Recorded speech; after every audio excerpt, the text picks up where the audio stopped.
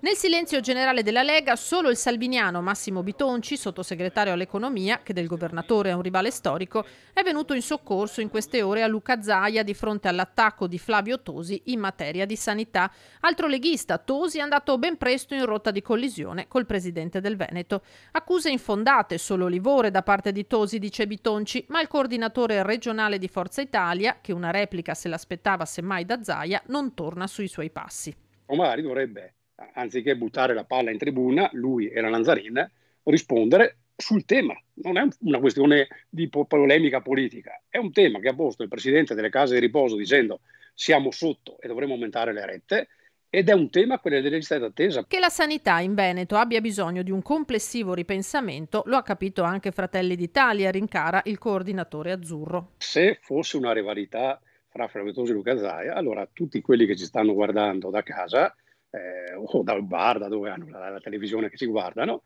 eh, direbbero caspita Tosi attacca Zai per motivi personali perché il sistema sociosanitario veneto va da Dio, le liste d'attesa non ci sono, eh, in RSA si trova posto per i nostri anziani, le rette sono calmierate. Se è così gli attacchi di Flavio Tosi sono insensati, ma siccome non è così, perché questi problemi ci sono, il sottoscritto, ripeto, ha preso atto delle dichiarazioni fuori luogo dell'assessore Lanzarini che ha detto che se ci sono problemi nelle case di riposo è colpa dello Stato, che non ha nessuna competenza,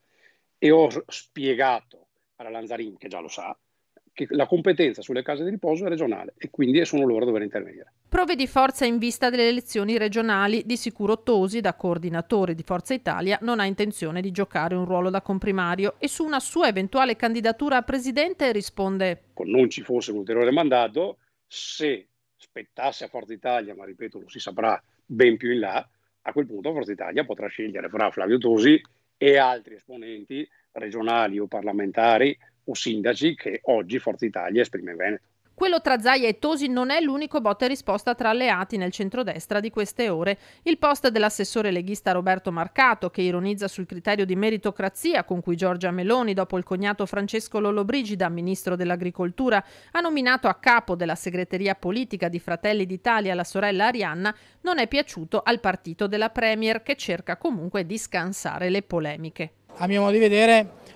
la, meritocrazia in questo caso è stata applicata perché Arianna Meroni è una persona che merita e giustamente oggi ha un incarico importante nel nostro partito.